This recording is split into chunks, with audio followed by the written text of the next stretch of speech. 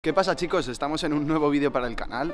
Hacía como dos semanas que no subía vídeo y ha sido porque he estado liado con cosas de la uni y eso Pero bueno, ya las he acabado, ya estoy free para poder subir más contenido. Y el caso es que ahora vengo con un vídeo que hacía un montón que no subía y es una review de una zapa. En este caso va a ser la review de la que es para mí la zapatilla más infravalorada del 2021 Hay otras reviews de esta zapatilla. Bueno, voy a empezar a profundizar un poco en el tema. Antes de nada quería deciros que os suscribáis al canal si no lo estáis y que le de, el vídeo y lo reventéis. La zapatilla que vamos a sacar hoy, posiblemente una de las zapatillas de las que menos he hablado este año, por todo lo que ha pasado en general. Si hiciéramos una línea de tiempo de todos los lanzamientos que ha habido este año, tampoco habría muchos que sean, que sean muy relevantes. Hoy la zapa que os traigo es una New Balance, no son las primeras New Balance que tengo. Yo ya tuve unas hace un montón de años, tuve unas 534, pero realmente no me gustaban nada, no me, no me molaron y es por eso que no me las llegué a poner demasiado. Hoy os traigo las New Balance 2002R Protection Pack, en este caso os voy a traer el colorway Charcoal y bueno, vamos a ver un poco la cajita y lo que viene.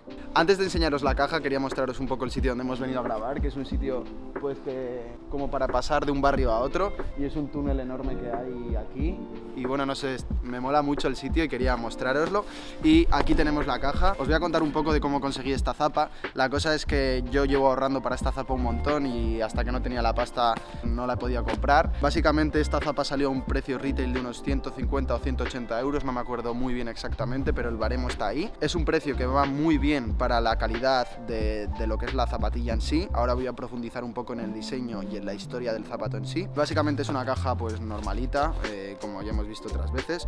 Yo las zapas las compré por Depop, me aseguré que eran verdaderas y todo eso. Si dudáis sobre comprar una zapa porque os venden fakes o lo que sea, dentro de muy pocos voy a hacer un vídeo sobre ese tema. Esta persona las compró en Rich Stocks, que no es por hacerles publicidad, Deadstoke, donde, donde las han comprado y siempre te da un plus de satisfacción. Bueno, no satisfacción, sino un poco más de seguridad, poder contrastar de dónde ha venido la zapa. Vamos a abrir aquí un poco para que veáis lo que es la zapatilla. Estas son las tapas.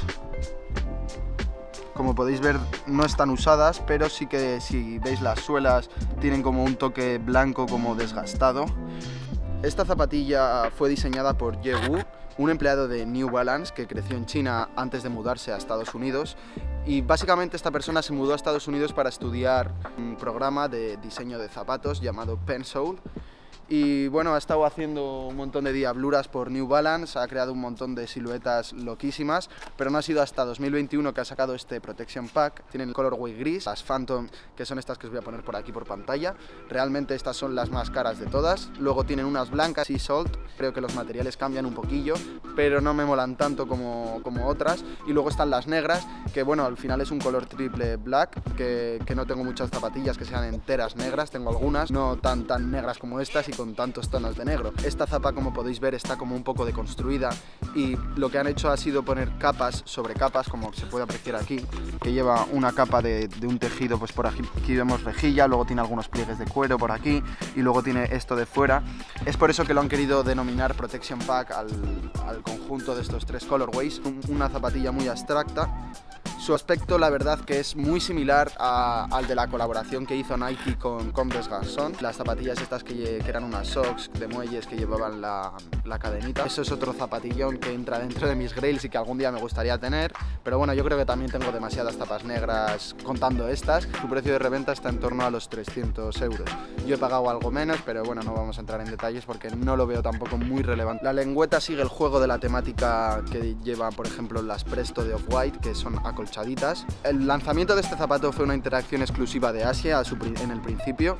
Se lanzó a principios de 2021, pero afortunadamente han salido en todo el mundo y el lanzamiento fue a finales de junio aquí en Reino Unido, pienso, o finales de agosto, perdón. La parte superior retira los tradicionales paneles de cuero que lleva la 2002R con un cuero sintético a favor de superposiciones de cuero más áspero, dándole el toque de construido que tiene la zapatilla. Todo va unido a tonos oscuros en escalas de grises y también se recubre con malla, como he dicho anteriormente. Y al final unos toques mínimos de cuero también en los talones para darle un toque como más premium según la marca. Y una entresuela Absorts, que es como llaman New Balance a esta tecnología. Una zapa que es imprescindible para un montón de coleccionistas. Yo, como os digo, es mi segundo par y no tengo mucha idea de cómo va, de cómo va New Balance. Muchos coleccionistas que conozco han pillado este par. Lleva un poco la estética esta de cuando New Balance estaba más pegado, ahí por 2013, 2014.